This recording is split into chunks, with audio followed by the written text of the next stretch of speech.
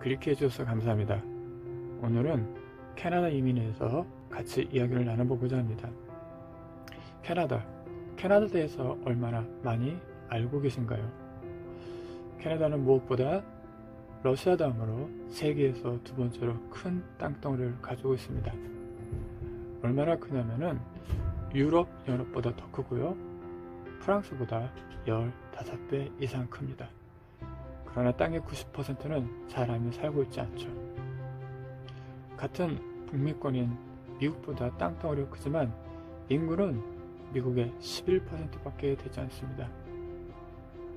대한민국은 숲이 전 영토의 70%를 차지하지만 캐나다는 숲이 전 영토의 40%를 차지합니다. 또 캐나다는 세계에서 두 번째로 긴 고속도로를 가지고 있습니다. 7,820km. 세계에서 가장 긴 고속도로는 호주에 있는데 그 길이가 무려 14,000km라고 합니다. 캐나다는 세계에서 일곱 번째로 행복한 도시입니다. 나라입니다. 2018년 행복지수 평가에는 캐나다는 세계에서 일곱 번째로 행복한 국가라고 합니다. 캐나다는 6개의 다른 시간대가 있습니다. 같은 나라임에도 불구하고 도시마다 시간대가 다를 수 있습니다. 캐나다는 수돗물이 정수물 수준으로 아주 깨끗합니다. 일부 지역에서는 자동차에 문을 잠그지 않는다고 합니다. 그 이유는 갑자기 나타난 곰을 피하기 위해서라고 합니다. 또 캐나다는 메이플을 세계 70% 이상을 생산하는 나라입니다. 이민을 생각하고 계신가요? 저는 개인적으로 캐나다 이민을 추천드립니다. 그 이유는 캐나다 이민을 하는 여러 좋은 점들이 많이 있기 때문에 그렇죠. 큰 그림 차원으로 먼저 어, 캐나다 이민에 대해서 이야기를 해드린다면 우선은 평균 임금이 다른 나라에 비해 높습니다. 우리나라보다 더 높죠. 현재 알버타주 최저임금은 2019년 기준으로 시간당 15불입니다. 또 캐나다는 다른 나라에 비해서 이민이 쉬운 편입니다. 저 또한 영국에서 유학을 하며 영국에 정착을 했지만 이민 조건이 너무 까다로워서 어쩔 수 없이 포기해야만 했습니다.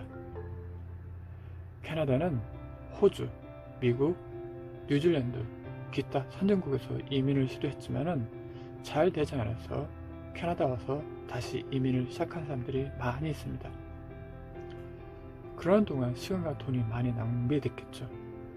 처음부터 캐나다로 이민을 왔으면 덜 고생을 했을 텐데요. 그럼 캐나다는 어떤 나라일까요? 정치적인, 정치적인 면에서 캐나다는 세계 11위 경제대국입니다. 일명 G7이라 불리죠. 서방 상층 7개국. 캐나다는 G7에 포함된 나라죠. OECD 회원국가이며 정치적으로는 의원 내각제를 하고 있습니다. 물가는 미국과 비교하면 저렴한 편입니다. 하지만 밴쿠버와 토론토, 캐나다 대도시 같은 경우는 미국의 대도시와 같은 수준으로 물가가 상당히 비쌉니다.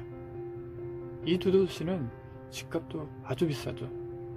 하지만 어, 물가도 비싸지만 어, 가격 또한 다른 도시에 비해 상당히 높은 편입니다.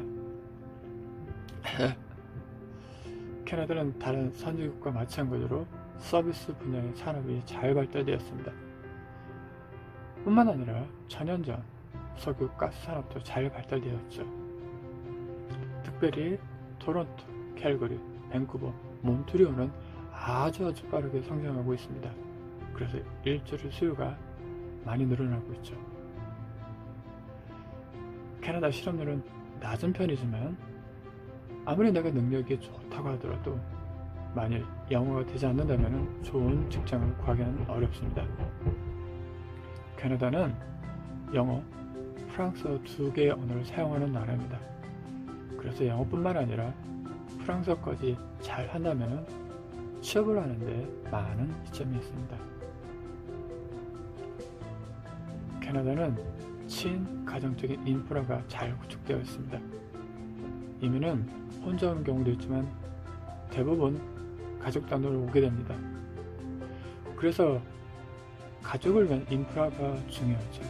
예를 들면 의료, 교육, 범죄율, 실업률, 직가, 문화, 예술, 자연환경, 여가 생활 등 이런 것들이 잘 갖추어져 있어야 되는데 캐나다는 이 모든 조건을 두루두루 잘 갖추고 있습니다.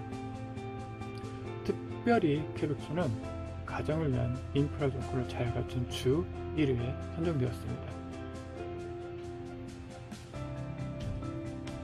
캐나다의 기본적 의료 서비스는 무료입니다. 회사, 어, 여러분들이 다니는 회사의 형편에 따라 정부에서 제공하는 기본적인 의료 서비스 외에도 추가로 의료 혜택을 제공하는 회사도 있습니다.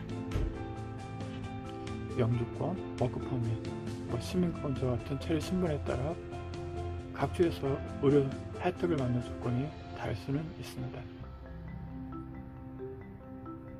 OECD에 의하면 캐나다의 교육 환경은 세계 최고 수준이라고 합니다. 공립 사립학교가 있으며 장학금과 학자금 제도가 많이 있어 학생들이 돈이 없어 공부를 못하는 일은 없습니다. 특별히 BC, 알버타, 몬타리오가 다른 주에 비해 교육 시스템이 잘 갖춰져 있습니다.